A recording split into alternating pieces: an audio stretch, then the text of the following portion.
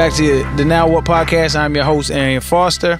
Uh, we're going to give a special shout out to Smarty Pants Vitamins. Um, they are the sponsor, title sponsor uh, of this podcast, and we appreciate them. So go pick them up. What's If you- Smarty Pants? Smarty Pants is a vitamins company. Okay. Did you create it? Uh, no, I did not create it, but uh, it's helping create me. Can we get some? Ooh. Yeah, you like that Is, tagline? is that Yeah. did you you know you should charge for that tagline? I should. I mean, that, that's not even their tagline, but they, Yeah, but you, You just made made it now, right? yeah. we created one, and you you should do Well, that. Well, since you're sure. in our office, we actually own that because you said it on our properties. right. So yeah, I didn't, I didn't sign anything yet. Smarty so I don't Pants think so. vitamins. They made me make Arian Foster make them. yeah. Yeah. Right, sorry to interrupt your ad. I think you're gonna uh, you're losing with that that, that many uh, that many words. But nah, so uh, if you don't know those voices, man, they're uh, the cornerstone of Barstool Sports, Big Cat and PFT. Thank you for having us. Wel- welcome. yes, Welcome. thank you for coming to our studio. Yeah, I'm definitely um, on y'all's home turf. doing- Yes. doing my podcast, which I appreciate. Yeah. because you saved me studio renting time, uh, money, and then you also um, Feel free to wet the beak a little bit on that. You got a Kick little- some back. Yeah, you got some loose change on. You just slide it across the table. what is wet the beak? You just give us a a little, little taste, taste. you know, just a little taste of the taste of the profits. I mean, how much would you pay to rent This a is studio? probably A this few- probably- this is probably the most- 300, 400 bucks. This is probably the most uh, popular podcast in the world right now. One of them. Yours? And you're asking me to wet the beak. Oh, okay. yours. Yeah, yeah, yeah. Yours. Yeah. Which you've been on. I have it. been on. You've Yes. actually been on it twice. I have. I, have, I was on this one. You were on Yeah, it you were on one time. You were recording it from your pool. You know what? So, little, little, little, pre- prep. I, I- I should probably address that. So, I was on their their podcast, which um, one of the first one didn't air because it was bad reception. So that was an asshole move. I was um, I didn't want to get out of the pool. I mean, I get it. No, if I had a pool, I would do all my Yeah, interviews from Yeah, the pool. there's So- no problem on our part. Okay, cool. So you probably like that dude's a dick because he didn't want to. But I was Oh like, no, we thought that for sure.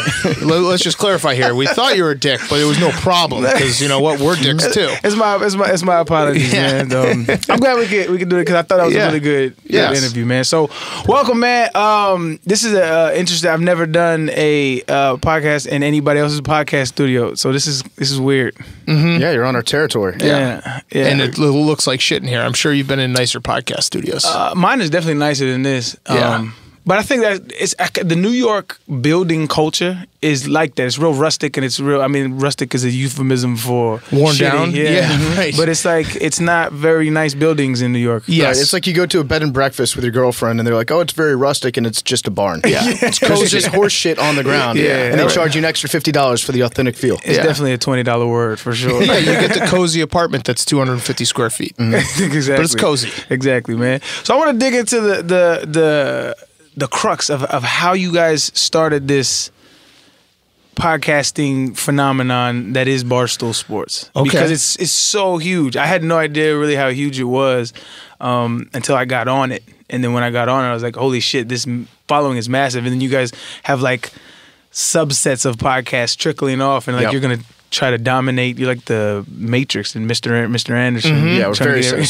trying to get everybody's podcast Yeah. We're trying to brainwash America very slowly. When you plug in the internet, there's like a half, a 50% chance you're listening to one of our podcasts. yeah. That's what we're trying for. But So- uh, yeah, yeah. So Barstool Sports, well, so it started, I think 16 years ago, 15 years ago by Dave Portnoy, our boss.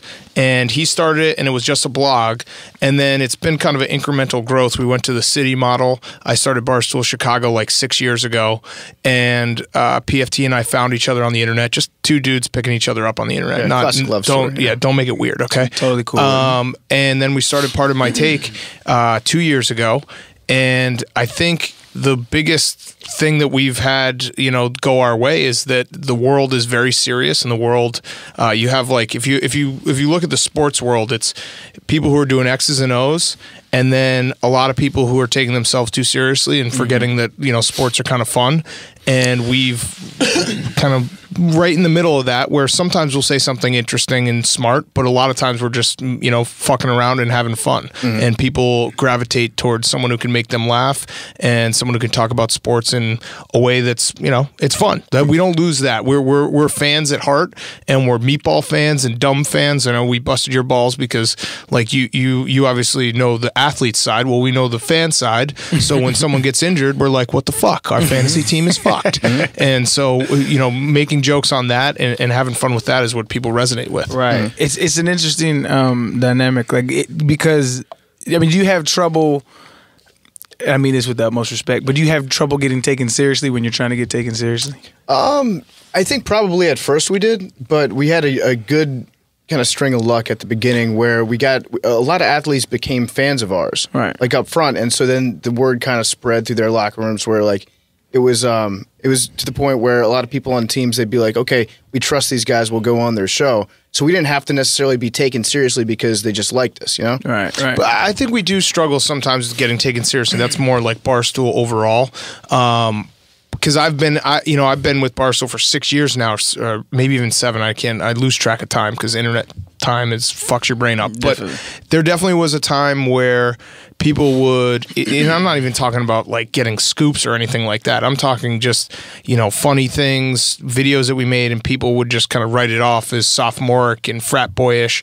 And of course, there's an element of that with everything we do, but there's also an element where I think we're pretty entertaining guys.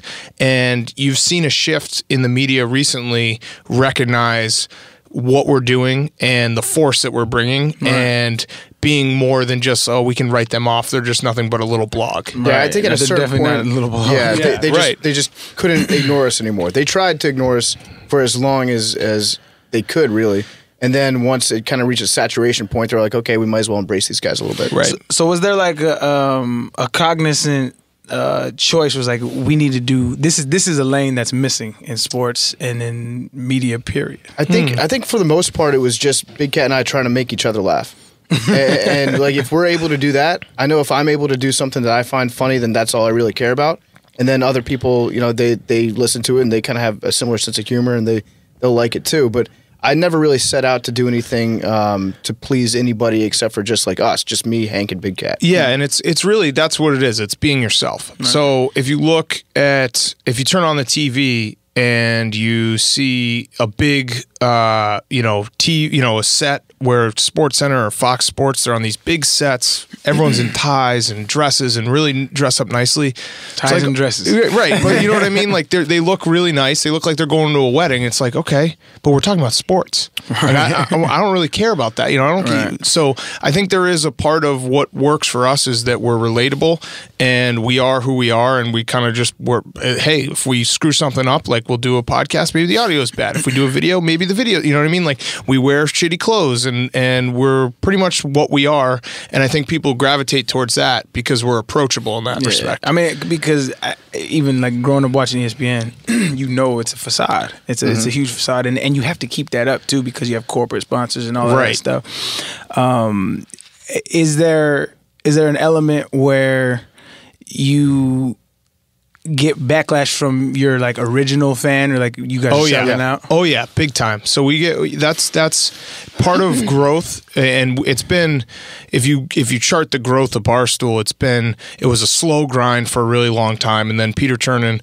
uh, the Chernin Group, bought us, and then it's been kind of a rocket ship from there. So the two years that we've been in New York have been crazy growth. We've went from I think two years ago we had twelve employees, we have hundred now. Jeez. So yeah, it's been crazy. And I think that with anything that grows, you're going to have a bunch of people say, I miss the old stuff. Mm. I miss that. Like nostalgia is real. Buy my old album. Right. Yeah, and- exactly. and- like the, when I, and my answer to that is, well, I miss doing the old stuff too. Sometimes, you know what I mean? Like I miss blogging 15 blogs a day in my apartment in Chicago. Is there But- is there a distinct difference between the old Barstool and the new Barstool? I it was a definitely. I, I think what people, if you if you really want to like pin it down to exactly what people miss, I think they miss that we were uh, real like underdogs in the respect that we couldn't do anything right. And you know we were like really, really dumb, which we still are. That's actually But an we've asset hired that some we have, smart people, right? I No, think I'm, I'm seriously. Big Cat brought up earlier when we have shitty audio in a podcast or something like that. Yeah, it it, it kind of sucks for us sometimes, but it's kind of good that it keeps us a little bit more relatable. That we'll we'll screw up a show big time. We'll just be like, all right, we're screwing this up right now. We'll just Right. admit it. We'll be honest, and then people will, you know, they'll make fun of us for it. We'll make fun of ourselves, and it becomes kind of like it, it, it's more of a community than it is us performing on a stage for you know a bunch of people. And we still are underdogs because we still are not the mainstream media. We're still not.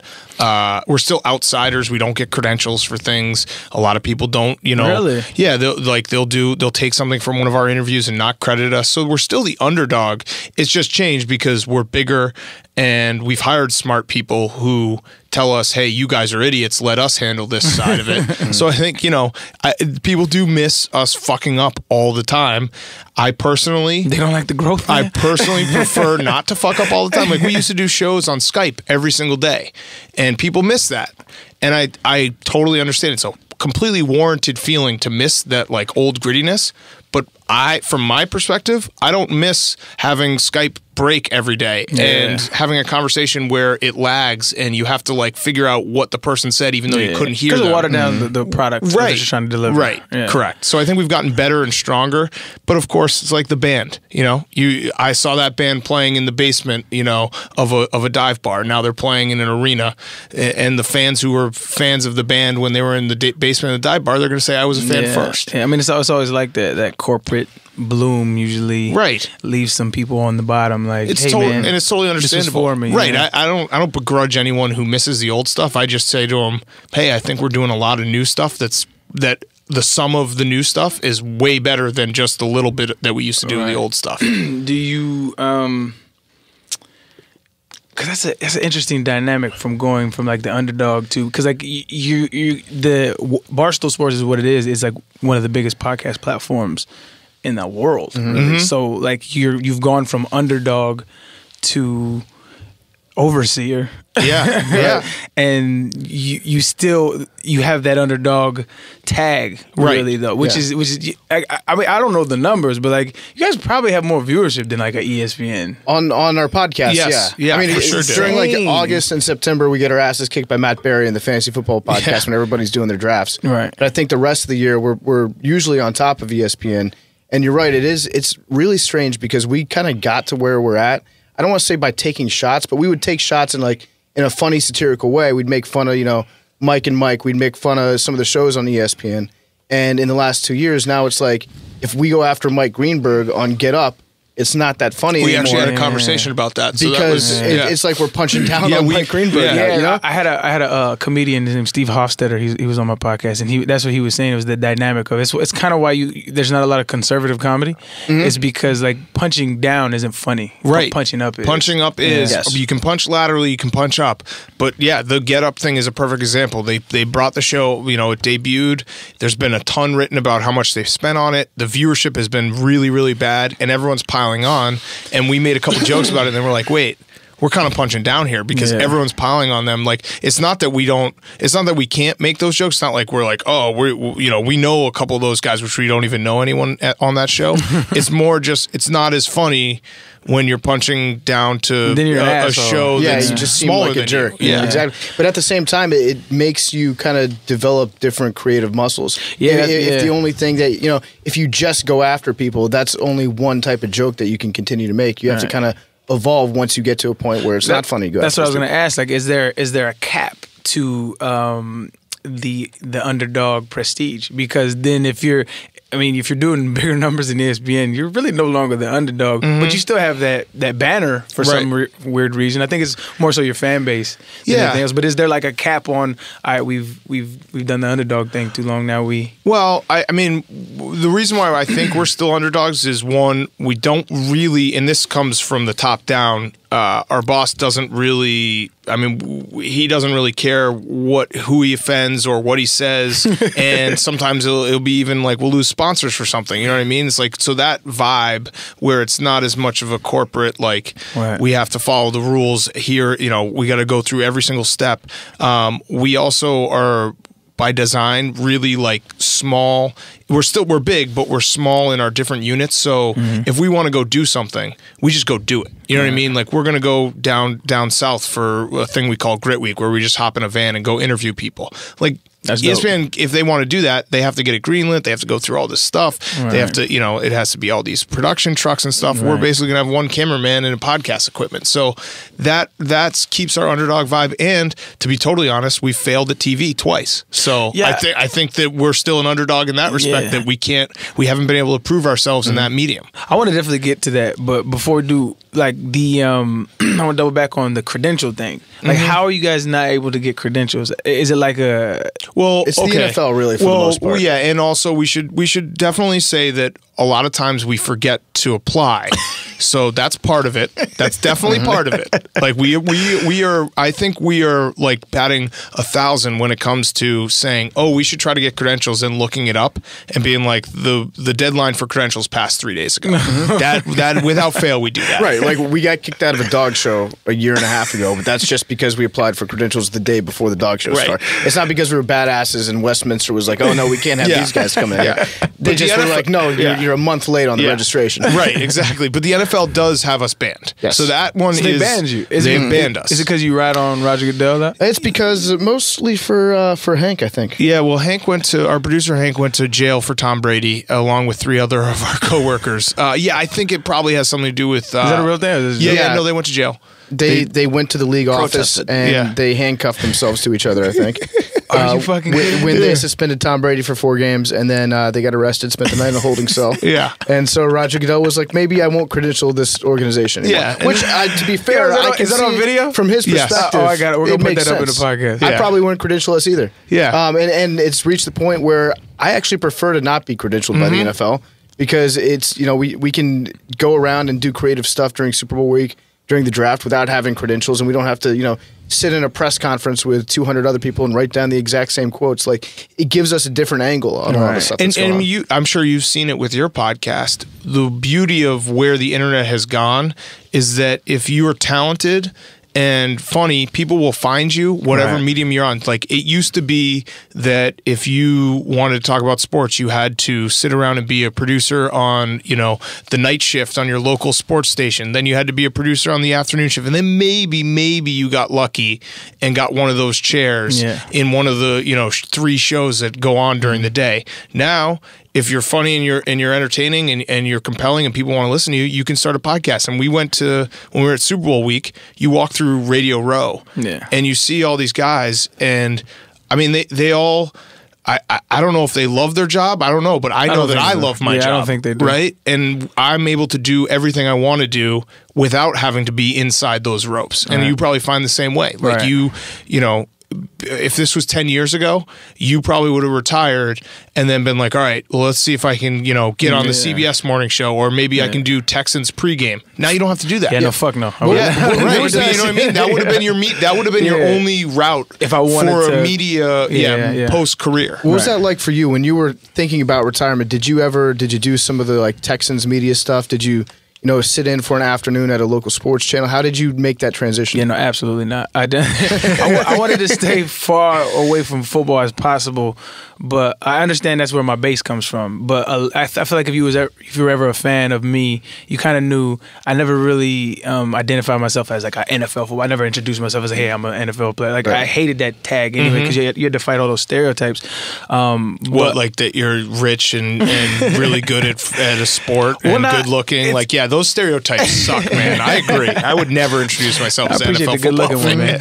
But uh, no, I think it's more so. Um, you have to fight this intellect curve that people think you have. So Yeah, when that's you, fair. So when you walk in a room and they say, "Oh, you're so well spoken," you're like, "Oh, well, you're kind of a piece of shit for thinking I wasn't going to be well spoken." Right. Right. I don't care what people say about you. I think you're pretty smart. Thanks, man. Yeah, that kind of thing. exactly. Yeah. Um, but as a, as as a train, I never really re- wanted to get into podcasting, right? So, um, it was my man, um, humble. He he hit me up and he was like, "Yo, I really think you can get into podcasting." I was like, "Why do you think that's a thing?"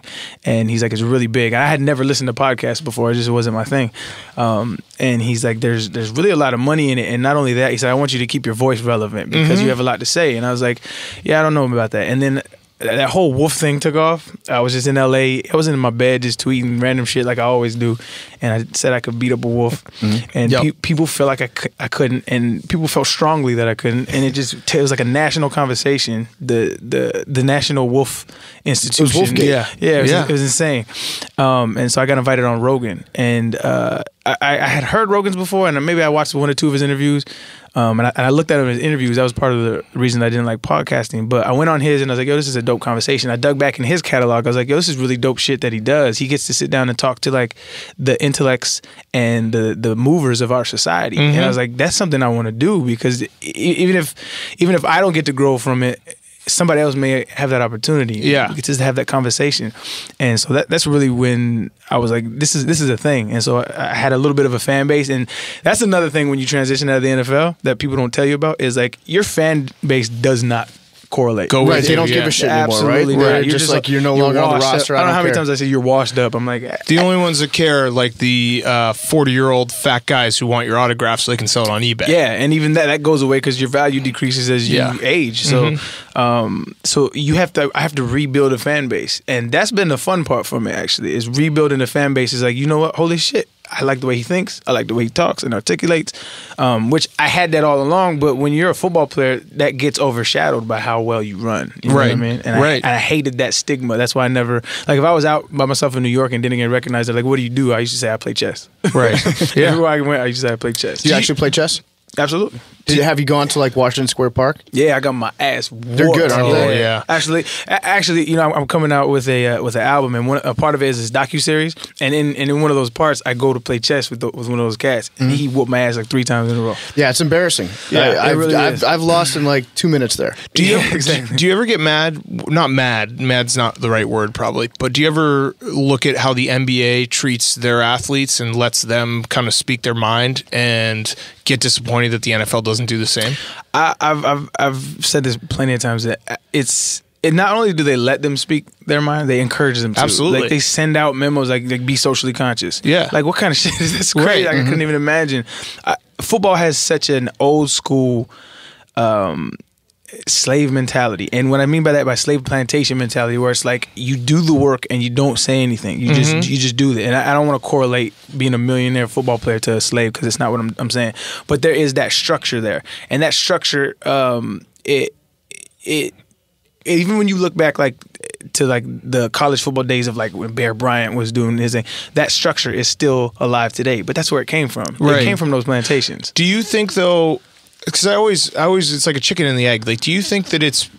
I think it's partly because the NFL, the roster's bigger. You're you're more expendable. Whereas in the NBA, if you are a you know superstar, so to speak, a top twenty guy, mm-hmm. no one's going to do anything. You you control your own destiny. You mm-hmm. have so much power because you are the franchise, and there's not many other pieces around you. And a guy like LeBron, who I don't.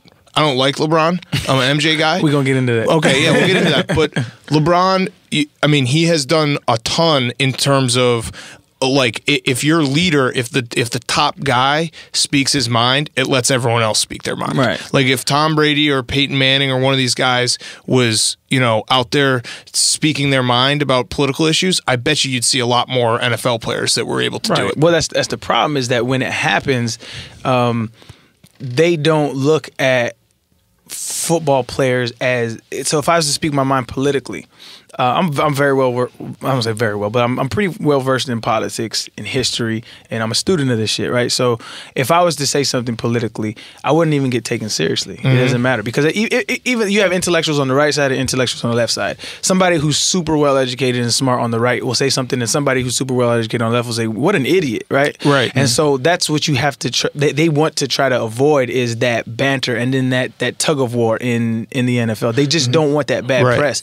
But it's it's insane to me because if you look at any uh, like I think we have a responsibility as Americans to be socially conscious. Like Right. we have a vote. Like and these vote these votes directly affect legislations and and and the laws that are being passed which directly affect people's lives so you have a responsibility to know what's going on so even if you speak your mind you, you you should have that um who is it martin luther king quote he said never never dep- uh, deprive somebody of the uh of the opportunity to struggle. Mm-hmm. Because so like if you if you say something have the opportunity to be corrected by somebody or mm-hmm. be open to that. It's So important. Maybe I'm I'm just a little bit jaded, but I I've kind of reached this point recently where I don't think anybody changed their changes No. their mind anymore. No. I mean the, the state of Right. discourse in the country right now, especially online, especially Right. if you spend more than five minutes on the internet, Right.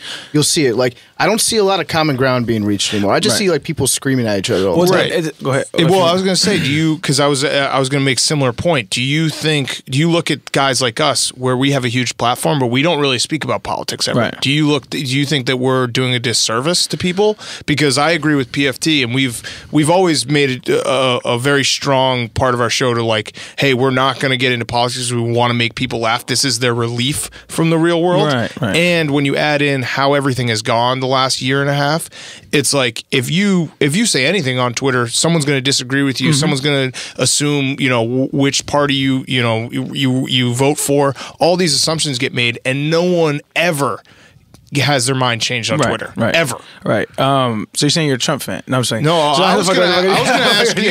I was going to ask you if you could go back in time, would you still vote for Trump again? Uh, that is a great question. No, no, I'm, I'm tell you what. I'm gonna tell you what. I'm gonna tell you again. Oh, you snuck that in there. yeah. See what I A did little there? podcasting trick. Yeah. Again. Shout out Rosillo. But I, will tell you what, that's a good point though. Um, in a second, but to your point, uh, I, I am an ad, so this is why I understand why the NFL is doing what it's doing. Um, but if this is a very multi-layered question because if you look at what the internet is, it is a it's a baby.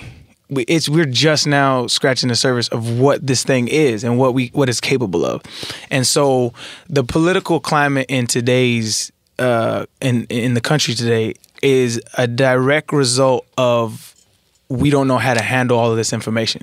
That's all it is. I agree with that. That was in sync. Goddamn. Yeah. No, I, it's a that- good that- point. That's actually really Yeah. insightful. I agree. Like It's the Facebook shit Yeah, that's going on right now. exactly. People can't Yeah. fathom that Facebook So- would harvest all of our data. Right. Like, of course they would. Yeah, and but we haven't been we haven't and been there yet. Yeah, hundred Right. percent.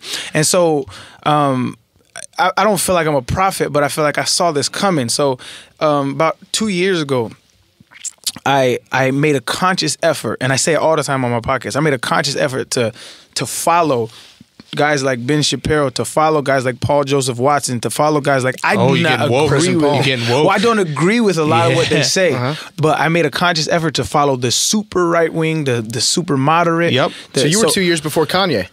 Yeah. No, but that's smart. but but uh, because if you don't, and as I, I I preach this to people, if you don't follow the the news sources that you don't agree with, then you're just gonna create this echo chamber that you live in, Absolutely. and you're never wrong. And then when you're never wrong, you'll never grow. And then Right. if you're confronted with somebody with a different point of view, your response is like, "This person is insane." Yeah. and every you don't you don't see them as a human exactly. anymore. And so that's why that's why when when they don't want athletes speaking about politics or shut up and play or shut up, that's stupid to me because it's an opportunity to have sit down and have a civil discourse uh, uh, uh, conversation about. Whatever the whatever the case may be, because like it or not, there are people in this country who feel marginalized. They could be Mm-hmm. wrong, they could be right, but there are people that feel like that. So let's sit. I think everyone feels marginalized. I think that's why the internet's just like crumbling because everyone's eh, like white guys now feel marginalized, which is insane. right, exactly. That's my point. You could make a you could you could raise your hand and be like, I'm marginalized. I'm marginalized. They ha- they have It's a like point- no, not everyone's marginalized. they, ha- they have a point to a certain extent where it's like this. So it's like um so like the word nigga, right? So like y'all y'all Whoa. can't yeah y'all can't publicly say the word nigga like that, No. right? So like that's that's that's you marginalization. can, but you, you're going to get punched in the yeah, face. you'll say so, but that's marginaliz- marginalization to somebody who who doesn't understand the context of why that is, right? Uh-huh. But th- that's why that's why these conversations are so important. That's Mm-hmm. why I feel like it's it's super important to have these conversations. What so, about white guys that can't play cornerback? There hasn't been a cornerback. Jason Sehorn. Jason Sehorn was the Yeah. last one. Oh my God! I have never little even thought Well, about Chris Yeah. Conte tried. He well, he To tr- I, I wouldn't call that Yeah, he yeah, tried. cornerback. I've never even thought about Yeah. that. Yeah, it's been a long time. We're the most persecuted class We absolutely are. We absolutely are. Now, now all the white guys are out yeah. there stuck playing cornerback and, and general manager. Up, right? And offensive line. Yeah, God damn it, they got to own the teams now. What Yeah. the hell? You're gonna start a tiki torch rally talking about Yeah. So wait, I have a question for you. corners and representation. Do you Yeah. blame people though for? I, I agree with you on the let's. You should follow people that are outside of your bubble, Hmm? but I also understand human nature and like we're pack animals, right? We want to be part of a tribe, but you want to feel like you're connected to someone. True. So when people hop on Twitter and they curate their own, you know, followers or, or you know who they're following, Mm-hmm. they're gonna do like-minded people because they want to feel like they're included in something. They're included in a joke. They're included in a discourse. So I, it's it's kind of fucked up to say, but. I'm I've become more and more of a cynic as I've gotten older. It's like No, there's nothing you can really do because Right. people are just that's their that's People- the natural inclination to find someone that's like you. An ongoing uh, saying on my podcast is people are fucking stupid. Yeah. people are just stupid. I'm And- stupid. and so yeah, but there's there's levels, man. People are are are incapable of of um, fighting their own bias. You have got to be conscious of that because if you're not, you're you're you're gonna end up it is like that's this this climate right now is the blowback from uh, years and years of people not really knowing what's going on, right? So when I, I don't, I'm not, I'm unsure of how aware you guys were before all of this shit that people felt like the police were constantly mm-hmm. hounding them, right? It was, it was, it was known in my neighborhoods when we grew up. Like it's known, like it was, a, it was a thing. Police are, that's what they do. They harass us. Like, th- like that, that narrative has been running through our neighborhood for years. But when you bring it to light, um, it brings up a lot of emotion because not everybody deals with that, and Right. then you have to deal, you have to del- delve into why people feel like they deal with that. And a lot of the a lot of the issues right now is, especially like on the right wing, they'll say, well. The, the, the representation in jails and crime and, and yada yada they, they pull out these stats but the problem with that is um, you can't quantify social science the way you can like hard science, right? Like how do you quantify uh, somebody like somebody harassing you? Right. Like, Mhm. like there's no data. Nobody you don't because you can't go to the police to tell you tell them the police that the police are fucking with you, right? Right. So that's been going on for years. And this is just a small sample size of, of what I'm talking about, and it's it's across all spectrum from gay people to I mean people feel marginalized in this country, so it's important for you to listen to the other side and you you shouldn't try to shun anybody's voice is, is the main thing which is why what the NFL how they handle these situations is just stupid to me Yeah. Mm-hmm. I'm I'm really interested to see what happens in the next CBA because it seems like the last time they negotiated the, the CBA in the NFL, there were a lot of these social issues that were starting to bubble up at that Right. point, but it never it, the online climate especially wasn't anything like it is right now. all, yeah. and I'm I'm expecting like some real real dirty play coming from the owners and from the, and from the players. Like it's going to be contentious, and um, you know when you're reaching that point the players don't have they don't really have to listen to the owners at the point. We don't have a CBA in place. Yeah. Um, they're going to be free to speak their mind. They're going to be like playing a little faster and looser with it. Yeah. Um, and I wonder what's going to happen with that because especially like you know we're talking about the NBA. Part of the reason why they're able to to you know tell their players, okay, you know, um, be, feel free to speak your mind about any issue that you want, is because you know the the contracts are set up where the players have so much more power Right. in that league. And I think the NFL It's players guaranteed money, It's right? guaranteed Right. money. The NFL players see what the NBA has, and I think they're going to try to push for something, whether it's guaranteed money, all Yeah. that They stuff. have to. It's gonna be tough. And They it's, have it- to. it's going to be an ugly scene that plays out in the next few years. Because I mean, really, when it comes down to it, the NBA. I mean, David Stern was a good commissioner. I think people will look at him and, and the growth he had. But Adam Silver is like a true players commissioner. Yeah, I think he's in really that he's good. looking out for the players, not the owners. Mm-hmm. Where in the NFL, it's kind of flipped. Yeah. And and I understand. doesn't, I mean, he, Roger doesn't Goodell- he get paid by them yeah, right. That's Right. the thing is, but he, but I think that, the, and you see the success the NBA has had because. I, I don't know. I mean, when you're attached to these guys, when you know them, kind not personally, but you know what their thoughts are and everything. I think that finds Yeah. it. It makes mm-hmm. the game But his, more his interesting. door is open, right? So Right. his door is open. Like they probably got each other's numbers. Like I Right. tried to reach out to, to, to Goodell a couple of times How'd about that some go? issues. Like I, I was in New York one time and I and I, I walked up to his office and I think he was like, "Yeah, bring him up because it was like we can show You take a player picture, representation." Right, Yeah, right. but it's like then when uh, some real shit happened, like that Ray Rice situation happened. Mm-hmm. Like I grew up in a domestically violent household and I thought that they handled that shit awfully, right? In what way? Um, like in the. So I'll tell you. Yeah. So if so, uh, growing up in that in, in that in that household, I understand that domestic violence is not uh, an athlete thing, right?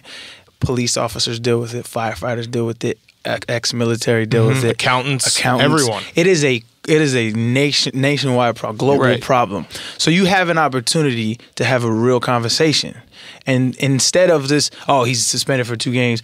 And it, the way they did it was so shitty, right? They're reactive, not proactive. Of course. they fucking saw the video. Yeah. and even if they didn't, what did you think domestic violence looked like? Right. Did you know it was a slap Well, on the hand? They started getting dragged out of the elevator. So what do you think it's a- happened and, and, inside and, there? And then I'll preface it with no way do I condone that shit because I, I saw my mother go through hell with that shit and it tore our family apart. Like, do not get it, do not get that wrong.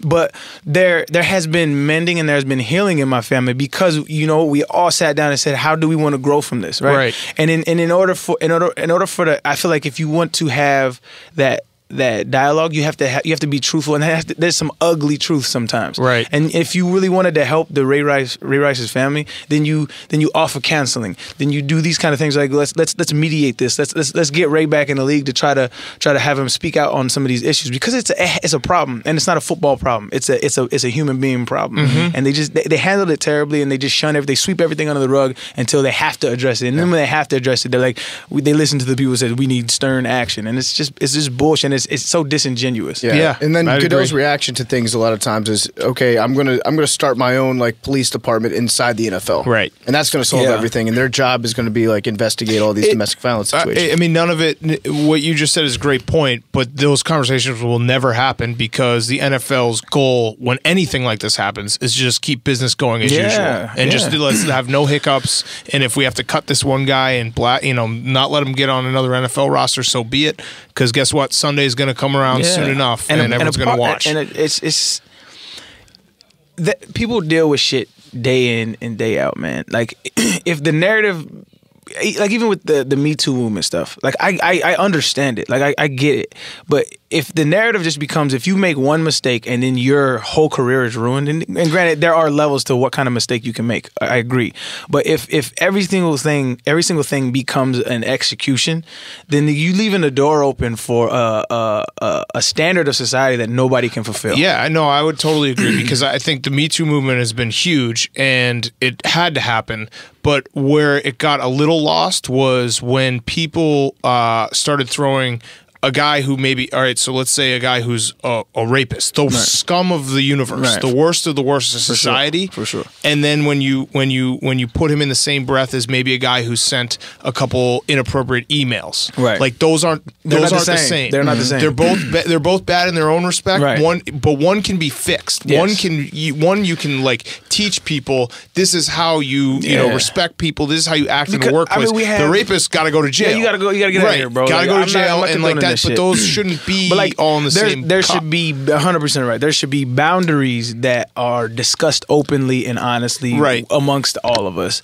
Um, people, And now you have now you have the blowback where people are like, "Oh, I can't do anything." It's like, no, that's not the Yeah, that's point not- of that's not it. the point. The point Right, just act- isn't act like a decent human yeah, being and act you'll like be a decent fine. human being. We're not saying that like you just can't make jokes. You can't like that's, that's the- not that's not the takeaway. and that's the thing. Being a non-religious person is, I, I preach all the time that morality is subjective. If morality was objective, we wouldn't have any of these problems. or are you actually preaching it if you're not religious? Whoa.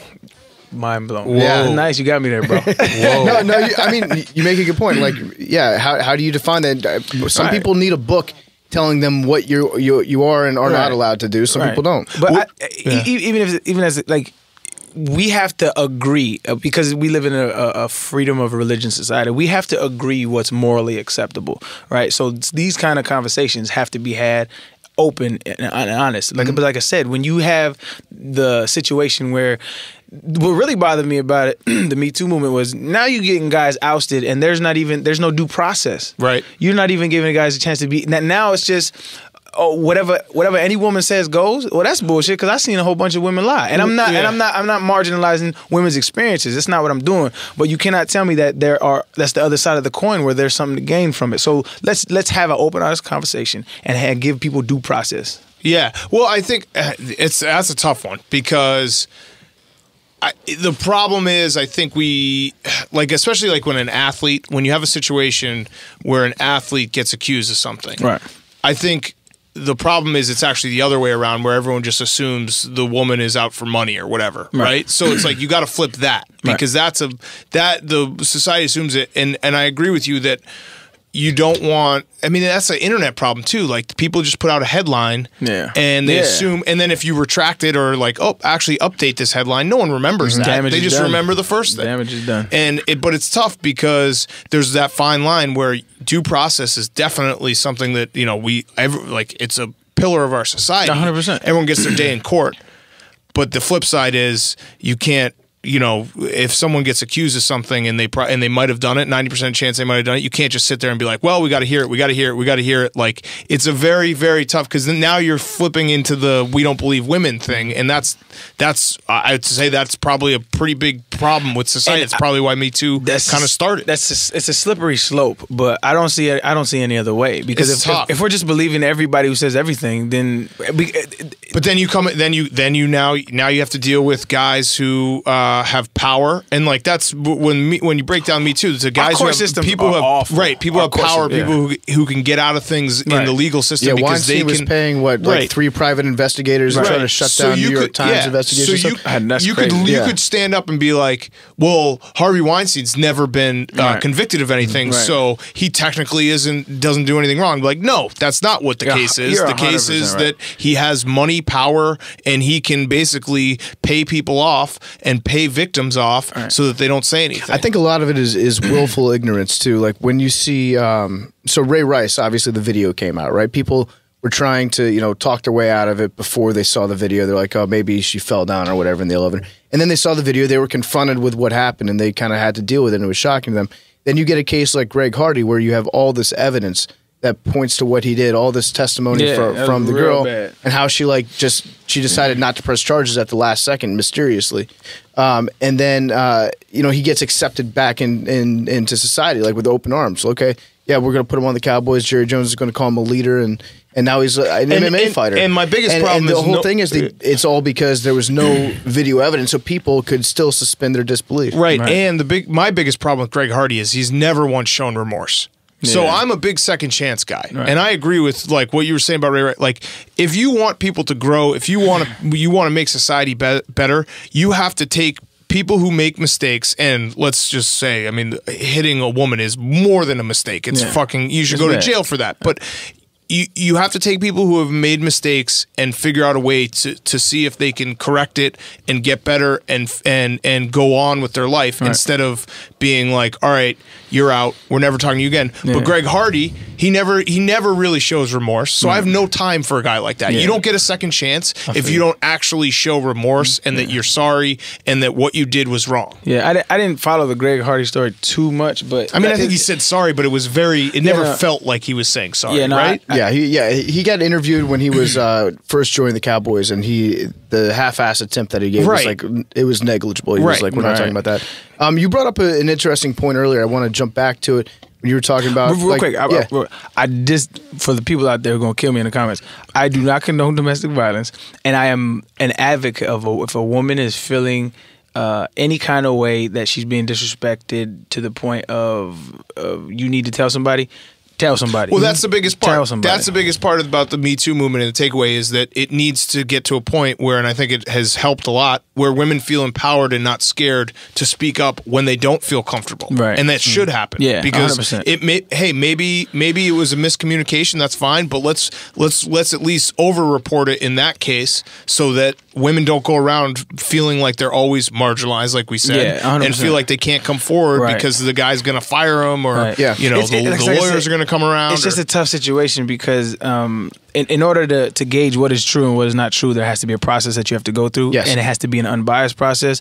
So I don't. I, I hate that women have to feel that are have been uh, victimized that they have to go through that that process. But the, as of right now, there is no other way. Yeah. Like that is Right. that is fair. Right, on you can't sides. you can't rewind life and watch you know exactly what happened. There Right. has to be like some element of, of is this true or is this not There true? was a dope Black Mirror episode that you could. Have you seen that? That- that that's episode? right. That yeah, was a dope episode. That's when you have like a camera embedded in your eye or Yeah, whatever. Yeah, that got so- that guy hemmed up pretty bad. Yeah, dude. It did. um, so yeah, yeah. I was uh, wanted to jump back to what you said earlier about like just things in general being morally ambiguous. Um, if you if you were to like do a hypothetical situation where you took away, let's just say you took away religion. Okay, let's say you took away um, every law on the books. Mm-hmm. There were no laws. Uh, do you think people would just be running out there murdering each other, or do you think most people have a strong enough, just like intrinsic moral conscience where they wouldn't kill anybody? uh, are you talking about in today's society? yeah, a little nature versus nurture. Yeah, right. Um, Because when it comes to domestic violence, I, I think you can make the penalties as as stringent as you want. You can say, okay, it's a, a death sentence Right. for domestic violence, and it's it's about what's inside that person's head Right. that makes them do it. They're not thinking about consequences or anything like that. Right. But just in general, in, in in life as we know, like, do you think murder rates would skyrocket? Um.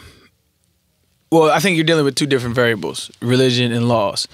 Religion is an invisible moral code, right? Laws are tangible consequences. So I don't think they're the same thing. I think this is why I feel like uh, morality is, is subjective, is because every society has a different law, every religion has a different law. Um, and it's morally acceptable to those who accept it, right? so if you for the context of this conversation i think if you if you did away with laws yeah the murder rate would go up um, if you did away with religion um, i'm unsure that the murder rate would go up. Probably no wars. there would be le- there would be less conflict especially if you look at things like in the middle east stuff like that.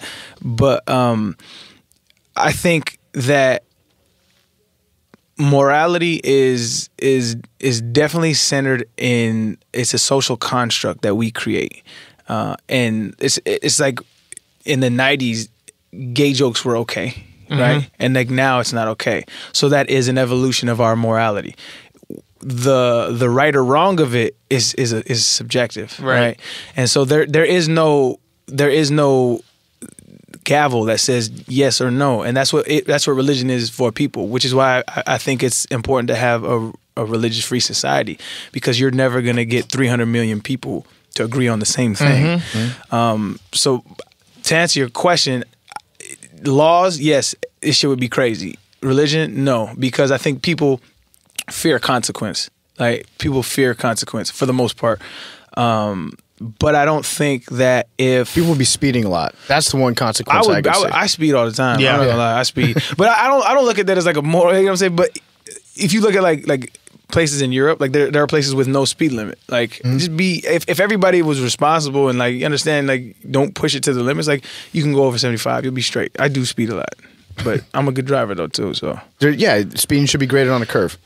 I, Take know, a driving test, and if you're good at it, you should be allowed to speed wherever you want. I feel like there should be like a um, if you don't have like tickets or wrecks or something like that, there should be like a stripe on your license plate that allows you to run red lights if, if it's if it's right. okay. Uh, allows you to run stop signs without because like like, Drink if- and drive. If it's two, no, if it's two in the morning, I'm not sitting at a red light. Right. You know, I'm not doing. it. I'm going through that shit, and I should be allotted that because of my driving history.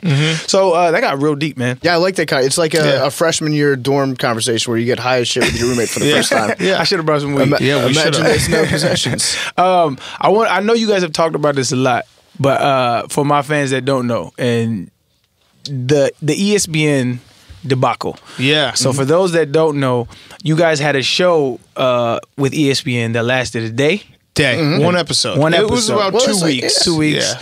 and it, and and and it was very short lived. Um, and you guys did not leave term on good terms. Nope.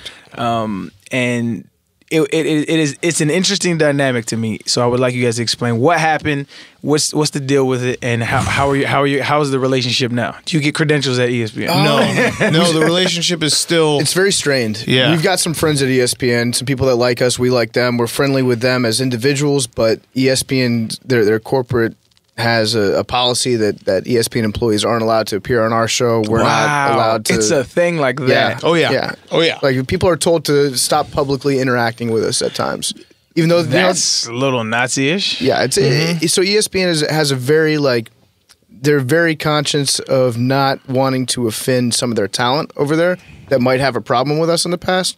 Um, but I guess we can start from the beginning. We Yeah, yeah. Let, let me let me have it. we uh, we got approached by ESPN. They came to us about um, what year and a half ago, two years Yeah. ago, about a year and a half ago, and I think what they wanted was they wanted a little bit of kind of the uh, the outside, the underdog mentality that that we brought. So back in the day, ESPN themselves they were an underdog. People told them, oh, they're just no cable news network. Nobody's gonna want to watch sports twenty four hours a day, and so they kind of grew from this underdog mentality. In the last 10, 15 years, they've reached a point where they um, you know, nobody would consider ESPN to be an underdog at anything that they do. Right. They're just giant. They're this huge entity, and so they wanted like a little bit of our low rent shenanigans that we bring to the table. And so they they reached out to us, and we talked about putting together the show. and uh, I guess they didn't do their homework uh, based on like you know everything about us in the past. So Did they give you guys full creative control on, on, uh, in its onset? Eh, I mean, they they we had were- edit, so they, not full creative control. Though, you know, it's been it's been really funny because it's like one of those situations where everything leading up to it was very exciting, and we thought it was a great move. And then everything when you when you have hindsight, you're like, oh man, that was really stupid of us because. I, I I've said that I think I've said this before, but it's almost like um, you know the mafia trying to go legit. Like when the Corleones try to like you know start having legit companies. Uh, really start like- washing clothes? yeah, but your your your we tried to make an olive oil company, Right, And we just we couldn't yeah. stop the drug your past is going to be brought up. Like, let's Right. put a little bit of heroin into Right. this jug. so your past is going to be brought up and so i always thought um, you know the, the growth of barstool and the way we were going like this is going to be great for barstool because we're going to be on espn we're going to get more people to to kind of be like all right these guys are legit. But then you see how everything went down and it's like oh well these guys used to be in the mafia kind of s- situation. And it's almost liberating because it taught me that no matter where we go with our careers people are going to try to take me down from for for my past and that's fine because at this point my, my the biggest takeaway was don't get caught in a situation where like politi- internal politics and people with an axe to grind can determine your fate So when you say past, like what what what what is well, it's, I mean, it about? came up because the Sam Ponder stuff. You know, we did a podcast four years ago, and it was it was a, the the funny part is it was a podcast that very few people listened to, and we were half-assing it. And my boss Dave said something uh, about her. Well, I can't remember the exact quote. Like you. He didn't call her. I don't think he called her a slut. He said act slutty or He something. got mad because she brought her son or daughter on right? the field and was which like, I did too. You're not paid to be a mom. Like you're Right, paid right. to dress up nice on the sideline. So they brought that up, and then I mean, she had been basically waiting for that moment and Mm. pulled out the stops, and then kind of like PFT said, there's a lot of internal politics at ESPN. There's a lot of people that have the ears of powerful people, Mm-hmm. and they're able to uh, kind of sway them to make decisions, Mm-hmm. and that's fine because I, you know, I, w- looking back on it it was going to be a really cool experience and we probably would have gained a lot more fans coming to barstool just mm-hmm. by like recognition and seeing us on espn being you know funny hopefully.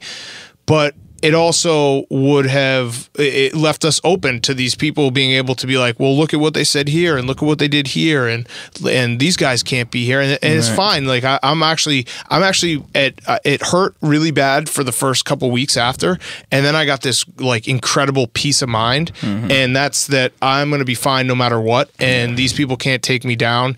And just going to keep doing what i'm doing and not get involved in a spot where you know politics and inside you know you know going at each other can take us down so now it feels great So you, yeah now i just admit that i'm in the mafia i'm not trying to do the olive oil business I think that's anymore. where that's where y'all Yeah. um that's where the underdog shit comes from. is Right. Because even though you might be beating them in numbers, it's still that corporate structure, and Right. it's just like us first. and it was a man. mistake but i, I think I, I would be Do you feel like it was a mistake though? I- yeah, think it was a mistake for sure. It was a mistake to Why, get in though? bed Because- with because ESPN. if- we, uh, I'll I'll be honest, we got. I'm speaking for myself at least. Got a little bit seduced by the fact that hey, we're going to be on E ESPN. I mean, I grew up watching ESPN. Right. It's a bra- it's a brand. It's a brand. You know, like I, I grew up watching Dan Patrick and Keith Olbermann on Sports Center, and you know, I wanted to be them when I grew up. uh, it- and, yeah. and and so like there there was a little bit of that like seduction where it was like, okay, we're going to be on E ESPN. This is awesome. And I think that kind of clouded our judgment a little bit and made us overlook a lot of the very obvious negatives that were coming at us. And so we just kind of washed those away. And then, you know, the way that it, it flamed out, I'm glad that it flamed out in one week as opposed to in five or six so weeks. do you think it was negative for y'all or positive? I think think positive I, in I the long run. Yeah. Long run, it's going to be Yeah. a positive. Yeah. Short term, Big Cat's right. Like it, Yeah. it stung. It sucked. Uh, Right. Just for the ego purpose. Exactly. Right. But, but but jumping back to what I said, like if if it was five or six weeks of doing the show and then it got canceled, it would be pretty obvious that it was because our show sucked. Right, right. Since it was about one one week or like half a Scaramucci. You'll never know if your show sucks. Yeah, it- yeah. Well, one will never know, and two, it was very obviously about things that had nothing to do with the Right. actual show right. itself. And I think it also, uh, when you kind of deconstruct how it all went down, we're competitive guys, you know, and we want to keep succeeding. And we're, you know, we're we work really really hard and we want to think things to be successful and the natural evolution of what we had created on the podcast was putting it on some kind of television platform Right, right. so that was just in our mind like all right we've conquered like a good base of followers that will listen to our podcast let's get to that next level Right. when in reality the lesson I learned sometimes the next level isn't needed. Sometimes you go to Nah. the next level on your own. You And- guys are the next level, right though. exactly. Yeah, so it, and that was actually the that was uh, the mo- the aha moment for me. It was probably a week after and I was bummed out for about a week and then I had this moment like wait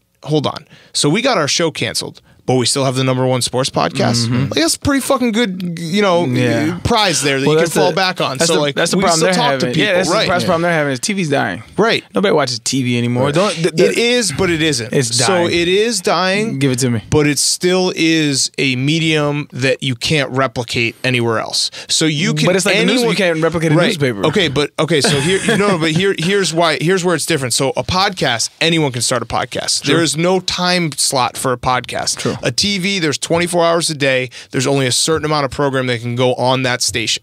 So that is an exclusive slot. So it's this exclusivity, Right, and, and, and it's just like there are people still watch TV. I know it's, But not it's a lot, no, it's definitely going down. But- But, but- you understand what I'm saying? but this like is why you're, you you when you get a TV show, you're reaching a certain amount of people that you might not be able to reach with everyone who can create a podcast. But I think it's I think it's it's just the allure of it more than the actual substantive uh, execution of it. I mean, we got we saw a bump in just everything when we when we announced it. When we were, I mean, I it definitely. I I still think I I completely agree that TV's dying, but I still think there is a certain amount of cachet and also eyeballs and just like media attention that comes Yes, with TV so- that you can't replicate anywhere else. So Media with the media attention, that there's a lot of legacy TV viewers out there. You know, like anyone past the age of, I'd say 35. Right. I'd say close to 100 percent of them watch TV in some shape or form. Thirty five. I'd say 35 is about the I say like. about forty plus, bro. Okay, well, for- thirty yeah, five is 40 plus, but still, I mean, there are a shitload of baby boomers out there that just won't die.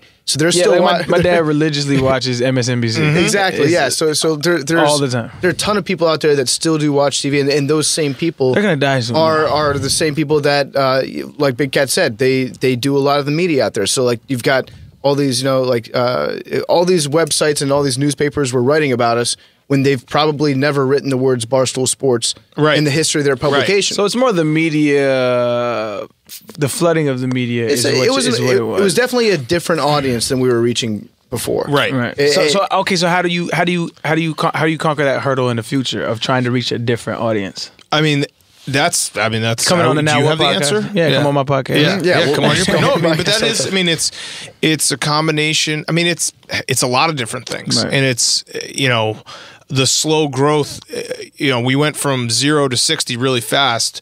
Now we're still growing. You know, our podcast has has never had a, a down month. You know what I mean? It's always gained gained listeners but but I'm saying like but yeah. it's less obviously Yeah, yeah. you don't gain as many listeners now than you did in month 3 Right. because so it is hard to find a way to always stay. Where, you know, it's it's through guests. We call these we call these uh, first world problems. yeah, I mean, it is. I know it sounds stupid to say it, but you- but it's a good question of how do you keep you know evolving and trying to find new So I, I listeners. do. I, I I saw that. Um, like so, like with um, one of my favorite follows on Twitter is Tyler. I am. oh, he's here. Is he actually in New Yeah, York? he, here yeah, he, he, he flew in this morning. He's here. I Yeah, gotta say what's up Yeah, to you him. I know he was say it. here. Yeah, oh yeah. damn! Definitely before I leave. Um, but so you guys take somebody like that who has an avid Black Twitter following, and and you. He's white though. You know that, right? I'll be so mad. I'm just fucking. I'm with not- you. it's not. It's not. Could you imagine if he was like, "Hey, this is Tyler Am. He's He's actually been- Gary Yeah. from uh, from From BuzzFeed. He's from Yeah. Connecticut. yeah, you fucked me up for a second. but um, Oh, that would've like, been great. Like you go, you go out to reach that that that market. It's like a different market. Yeah. so like that's that's Yeah. the kind of things you have to. But that, I think that's that's what you do. You reach. Um, but but what you, what you're doing is, which is why I feel like TV is is it's dead and it's going it's gonna it's gonna do nothing else but this and maybe spikes here and there. But because people don't consume information like they used to. Mm-hmm. Like I'm not going home sitting down on my couch and flipping on the TV. Like I, I pull up my phone, I pull up my iPad, or I connect my phone to my TV, Right. And I and I scour the internet for for new information. Yeah. So the way you guys are are are, are growing is just like you're doing. Like you, you get small pockets here, small pockets there, and then Right, bring 'em in. You need to small talk to more rappers, probably. Yeah, we. I mean, we definitely we've we've always enjoyed. We had the Super Trooper guys in here last week, and it's like we got to do. We probably got to do more interviews with people outside the sports world because Ice Cube on. That was at- pretty good. At the end of the day, Yeah, super the, dope. the best compliment I've ever gotten for our podcast was someone said, um, a girl came up to me and was like, I don't know. Half the time, I don't know what you guys are talking about. like, I don't know when you go on these tangents about Todd Haley wanting to fight every Big Ben and all this shit. But the way you talk about sports is funny. Yeah. and that's the best comment because, like, that's the the umbrella we're trying to get, where you don't have to be a diehard sports fan to listen to us. Yeah. You just have to think what how we approach like our worldview and sports view is funny.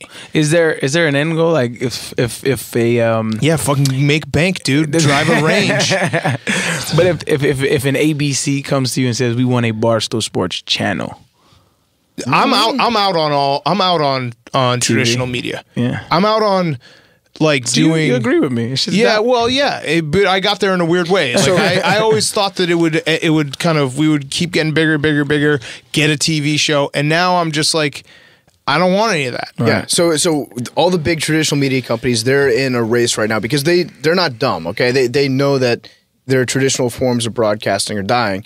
So the easy way out for them is just buy somebody else that's good at Yep. it. And what that ends up doing, they they will generally just turn it into something very inauthentic.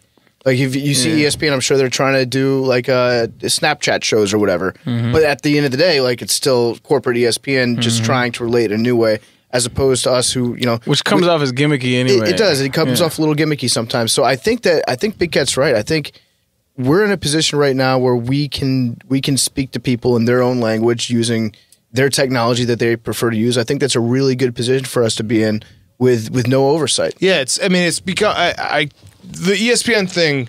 As much as it sucked, it was the most liberating moment. It's become the most liberating moment in my career hmm. because it was the first time where I had a moment where I was like, you know what, I'm gonna be fine. Right. Like I'm gonna be fine. People who have followed me and enjoy what I do, they're gonna keep following me and enjoy what I do, whether I'm on ESPN or not. Right. So that liberation has been unbelievable, and it's been Right. like my peace of mind.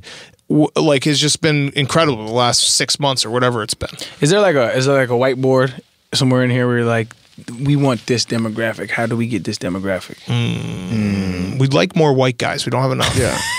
Do you have like a, a built-in audience of like Southern fraternities? Absolutely. what you do is with the video, you just get big jars of No. mayonnaise, Yeah, yeah. and raisins. No, we we to And be that- and it'll yeah. come. to be honest, we we think of it uh, we think of it as uh, we don't see color, we don't see gender. So it's 2018. We uh, actually just see regions. So we got to get bigger out west. We got to Really? get bigger south. Yeah.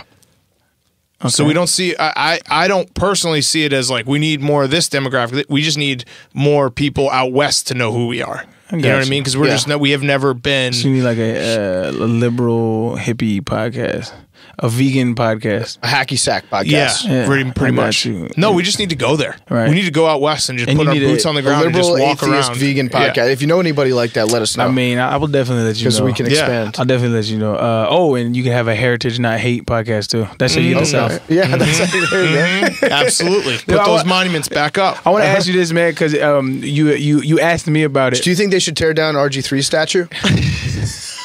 I mean, At Baylor? a lot of problematic stuff under Baylor's, under Art Briles regime. uh, them, them, them micro braids, I, I'm not a fan of anyway. So, uh, um, uh, you, um, you told me this, or you brought it up when, when I was on y'all's podcast. The, um, the JJ Watt thing. Yeah. Is that a real thing? Like y'all Oh, really yeah. don't fuck with him? we kind of fuck with him a little bit. It's- we moderately fuck with him. We so it started out as us just like needling him, needling him, needling him, and it reached a point where um, we kind of wanted to bury the hatchet with him.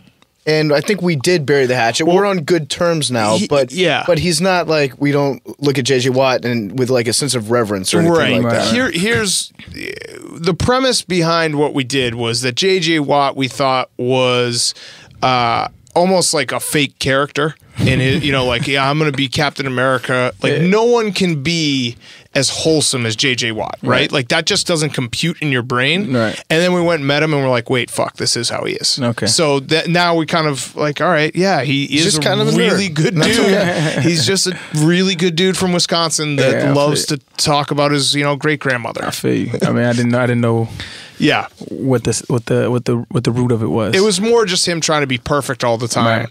and that that like bothers I you. usually say like if you if you portray perfection, you probably got some bodies in your right, closet. but I think he actually just is perfect, except he gets injured all the time, so I guess he's not. I mean I can relate. Yeah, true. I mean I you was, guys I, were both soft. I was- I used to, I used to tell people all the time like man you get injured all the time. I was like imagine going to work dog and there's two two ambulances on in, in the end of each door. Right.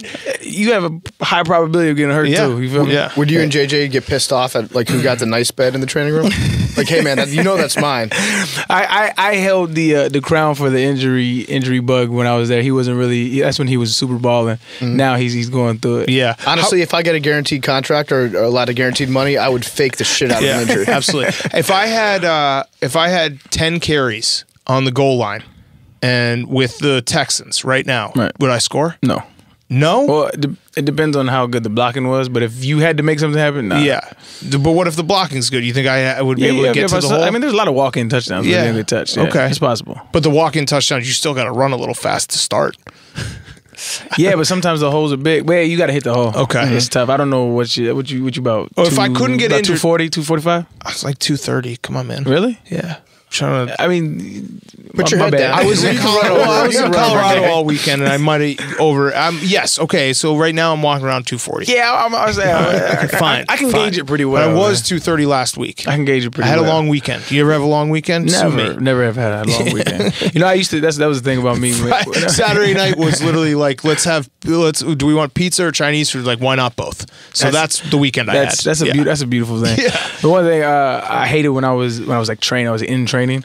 I have the body type of like I can gain ten to fifteen pounds in a weekend. Same. I fucking hate that. Yeah, shit. it's the worst. yeah, but it, it takes me Us athletes, two three weeks to lose it. Yes, I hate these It's, it's the curse of being an athlete. Yeah, for sure. It's tough. Yeah, man. So, uh, yo, so I'm I'm coming out with. I just want to ask you guys this. So I'm coming out with because you guys are Barstool Sports, and I'm I obviously come from the sports ilk, and I'm coming out with an album. Okay. And uh, are you fuck? Are you gonna fucking try to make us buy your CD right now? Jesus yeah, Christ! Here's the. You're I- like, I- hey, I- oh, I'm- it's just ten I'm- I'm dollars. You're just handing out CDs. No. Is that, was that that was his whole thing? That was the whole Was thing. just trying to I get was us to buy your buttering CD. you up, man. You could have just stood outside of our office. I would have just given you ten dollars. No, but um, the funny thing is, um, I've I've been working on this for around three a good three years, right? And so I I I, I love I love um people that are not biased in their opinion and they give me their real opinion. So uh, a part of, of what I gauge the success of this album would be people giving it an honest listen Okay. before they write it Okay. off, right? Yeah. So like I mean, just hearing that I have an album, what's the first thing that you think of? Probably stinks. right. Yeah.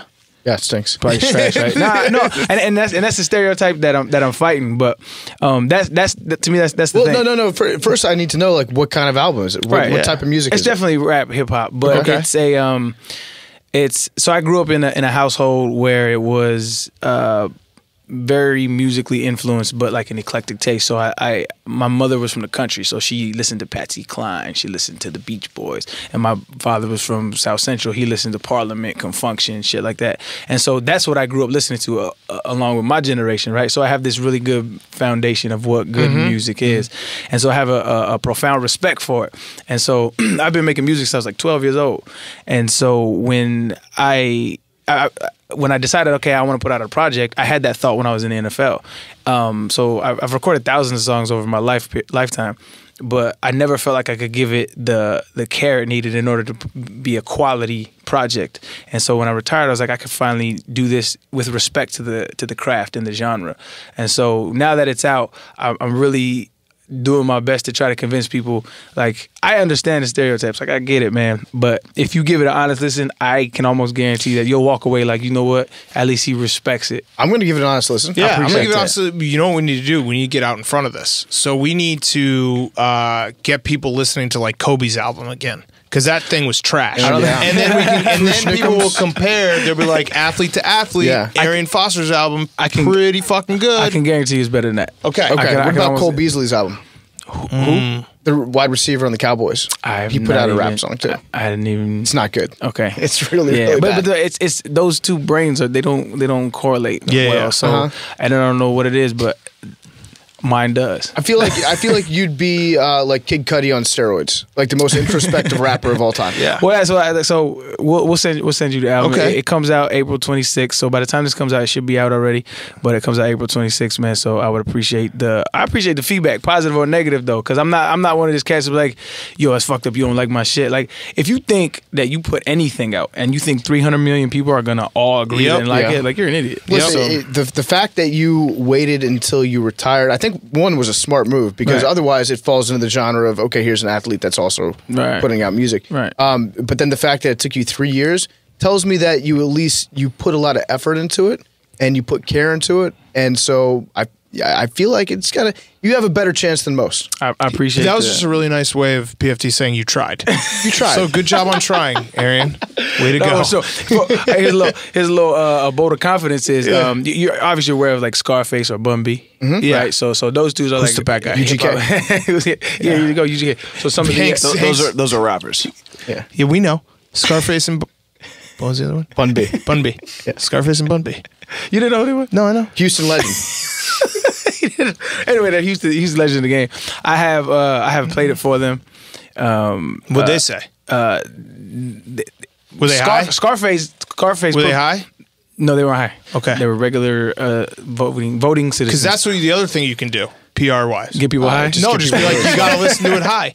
But Grateful Dead made a whole fucking career out of that. Really? You don't understand the song until you're high. Well, I feel like you don't understand life until you're high. True. It's an, ama- it's an amazing thing. But they loved it, man. Um, and they, he actually put me in touch with his publicist to try to promote it. It was a dope, dope thing. But that was really gratifying when legends talk to you and say like, "Yo," and they don't have anything to gain, uh, Right. For, for me, a retired football player. So it was dope, man. So like, that's the whole goal is to just ask people to give it a real good listen, and hopefully they do, man. Okay, you give yourself a review Right. in ten words or less. Um, That's one. um is a word. Yup. Three, four. It's tough. f- Well, that's six. It's fucking great. Okay. That's seven, eight. What would you rank it on the five ball scale? So we have a guy here, Glenny Balls. right. So five is the best. To me, to me, it's a four. Four, four balls. Four balls. Four balls. Smart. You leave yourself a little bit. Nice. Got Two to. I'm gonna put go. that classic my first one. Yeah, yeah, uh-huh. I'm right. proud. I'm very proud What's it of called? it though. Right. It's, it's called Flamingo and Koalas. I can't wait till you sell out and I can be like, I listened to Arian's first album. That'd be dope. It's gonna be great. That would be dope, Just man. be like this is tra- this is trash now. Do you His swear? sixth album is Do you cuss on it? Because I don't listen to songs with swears. I, I do, but man up. I don't like language. Do you Yeah. say I don't like language. do you say the do you say the N word? I do say the N word. Oh. Yeah. So, So- Am I allowed to like a song that has that word? in it? Absolutely. Okay. Absolutely. I'm not the language police, so I'm not one of those black people who's like, don't say it, but. Oh no, I don't say I- it. yeah, Yeah, we I, am okay. yeah, I I doubt don't it. You're trying to to trap us into Yeah. saying, Yeah, I, yeah, I don't yeah. do No, that. One Not time gonna for the camera, just look and say Yeah. nigga for me. nah, um, no, that's a funny little story. I'm, I'm not like a, a language police. I don't, I don't. I think it's corny when white people say it, or anybody other than black people say it. But like, I'm not gonna. I'm not. I have two. more I have four kids. I'm not trying to police y'all. I just replace it with friend. My friend. Yeah, no, in lyrics. That's what I do. Nice. Yeah, that's so you know. much. You have to put so much thought into. I feel you though. That's Yeah. tough. That That's- but that's how to- woke I am. Persecuted white men Yeah. have to. Right. That's just one of the many things that we have to do Yeah, that makes look it tough us. for us. Yeah, no, it's tough. You guys Yeah. are marginalized. You Yeah. can't say words, man. Yeah, I gotta wake up every morning and remind myself to not say racist things. Yeah. think about my struggle. Like low key, you do. It's like a real thing with y'all. That's funny as hell. But yo, I appreciate y'all. Uh, wait, I had one more question. Oh no, shoot. shoot. Okay, the challenge. What happened? Okay, so. Um, I'm a big challenge fan. I yeah, haven't watched in a while. I didn't know how many people were fans It of was that shit. TJ on the show. Uh, TJ Lavin. I don't think so. Okay. but I'm awful with names, so he might have been. He was the host. Was he hosting it? Is that the dude that was like a wrestler? No, he's a BMX. BMX rider. Yeah. but he might not be the host anymore. He, I think they might have had the guy? someone Do you know else. the guy that was the challenge? Fuck, I, I met him. I even exchanged numbers, but I'm shitty with names. I see his face. Was Yeah. uh, Johnny Bananas on this one? No, I heard. I heard Tony. about him, but from everybody. Tony, yeah. Tony- Tony was fucked you over. that. So what happened? Uh, so Uh, I'm gonna be 100 percent honest, and I love the people at MTV that let me on the show. Like I, it was, it was strictly for charity, and like I'm not a reality TV show guy, and it showed. It's because I don't know how the game's played. I'm taking people at their word because Mm-hmm. This is their life. Yeah, like this it- is they know this And very so well. the funny thing is, is off camera, like there was like a big dispute afterwards, because because what happened was for people that don't know, I was on MTV's challenge, and uh, obviously I was one of the stronger players, and they somehow convinced me to go first because they were gonna put a, a, a weaker player, so we'll have the advantage. Stupid ass plan, but um, I I didn't I didn't understand how the game was played. One, I had shit to do the next week, and so it, it wasn't that, that big of a deal to me. right. You wanted to get voted off. Yeah. It's not that I want to get voted off, but it, it- I was I was just indifferent about it. I Like I don't I don't, I'm, I don't have to be here. Um, but the the the people kind of coerced me into like, yeah, you should go. Yeah, I'd say you made a mistake when you say you, you took everyone like to, to be honest Yeah, on a and that's the reality. So, so, television show. so after, but you see, that's that's that's my nature. My nature is like I'll I'll I'll, I'll take you at your word until you show me different. Mm-hmm. And so like we're talking about this at, at the end of the like off camera, like we're at brunch right before I leave, and I'm like like it's just like it's super phony. Like you you hear about reality TV people being phony, but then when you see it, it's crazy. Like they're like we're we're not phony. Like we're just playing a game. Like think of it like you're playing Uno with your friends. Like you you'll deceive them in the game. I'm like this is not Uno. Mm-hmm. Yeah, like this right. is, we're talking and Right. and you're lying to me. Like They're just Right. saying like this is all satire. It's Right, all yeah, joke. yeah. So And they're right, actually I doing think, it. I think that's just how they um, compartmentalize it Yes. in their head, so they don't feel Yeah. like bad people. Uh-huh. Right. Which I mean, I, I, don't get me wrong. I don't have any problems with do do you, and if you're a reality TV star, make your money how you want to make it. But just I, I think it's a corny and phony thing to do. Mm-hmm. But you know, it is what it is, man. I enjoyed my time. Met some cool people there. so how long were you on the show? Uh, like a day. Oh, us, so we both Wow. lasted the same amount of time on TV. We Yeah. have so much in There we common. go. man. If you guys need an atheist, vegan, anti-God podcast, I'm. Wait, wait, guy. I thought you- you are weren't you a vegan anti- anymore. I'm not a vegan. Yeah, are, are you anti-God? no, no, I'm not anti. Well, Oh, So, so if you now if you're anti-God, that means that you're not an atheist because you can't be against something that doesn't exist. No, no, I'm be, anti thought of God. I would probably be. what that. happens when you die? What where, where do you go? Uh, probably the same place you go when you before you were born, Which is so sp- You're the back Miami in my Dolphins. back in my dad's testicles. or your mom's vagina. Either one, Well, no, yeah, definitely my- started the, in the Yeah. testicles, allegedly. sperm. You, well, we your don't know. We don't know grandfather's where testicles. life Yeah. started. We don't know where life started. Oh shit! Now you're about Wait, to really blow We're, we're back, we're back to we're back to politics. Yeah. that people pi- people pick it because they feel like they know where life starts. Who- mm-hmm. We don't know. You gotta you ha- you should have brought weed for this kind of conversation. I would've been dope. It's Tell you what, we are much. we are a pro anti-God podcast because we like you. Yeah. Pro anti God mm-hmm. Yeah. podcast. There's so much going We're on. a be yourself podcast. Uh-huh. I, Just be yourself. I fuck with y'all. I don't think I. I don't think I used to like you guys. Yeah, I don't think so either. But it was never like on no like because I looked at your content and judged you. It was just mm-hmm. like you probably said some shit. I was like, well, what a our intern put you in a in a mental pretzel. Yeah, no, and yeah, he fucking made you mental submit. pretzel. Yeah, Oh, so that's you had to right. tap out. Is he Billy here? No, Billy with the- Football's not here. because he, he called you a fraud vegan. Yeah. Yeah, fraud because you wanted to fight a wolf. Yeah. Did you ever say how you'd go about fighting the wolf? No, because I, I never thought about it that deep. I, I thought Well, about. then go ahead. How would you fight a wolf? I I would try not to first of all, but Yeah. if I did, like you have to go for his jaw, Okay. Okay, like because Next. that's his only weapon. So Yeah. you would target a very like slender part of the wolf's body with one to. precise punch. You have to. Would you punch him in the face? I would probably try not to use my hands as Yeah, you much gotta and kick, use my feet. Keep, Yep. keep him off me with my feet, and I would try to pick up. yeah, a but if he if he gets your if he gets his jaw on your feet, it's lights out because now you're compromised. Of course, this is this. That's the fight, though. I actually do I'm gonna know try. how to- I'm gonna let him not get my feet. I know how to defeat a wolf. Like I, I've really studied this. Before. You got to snap his windpipe. Here's what you do. You get him high. Yeah, he, well, yeah, you blow in his ear. no, you, what you do if you have a jacket on, okay? If you're if anybody out there listening is ever in a fight with a wolf, I'm going to save your life right now. You wrap your jacket around your arm, okay? You wave your arm in front of it. You let it bite onto your arm because it's going to hang on. So it sinks its teeth into that jacket that's wrapped around your arm, and then you just kick it in the nuts, just repeatedly Yeah. as it's hanging What if off. it's you. female wolf? Then you just kick in the ovaries. Okay, Just blast No, your you cervix. you you actually were halfway there. Then you just snap its windpipe. Grab How, its how neck. are you gonna know if it's a male or a female wolf? Like while you're getting gnawed Well, on. I mean, I'm just going to kick in the abdomen. Yeah, there you go. Yeah. yeah. Just make it internally bleed. If it if it's if it's a female wolf, I'm going to kick where the nuts would be if it was a male wolf. I think I just put it in a headlock.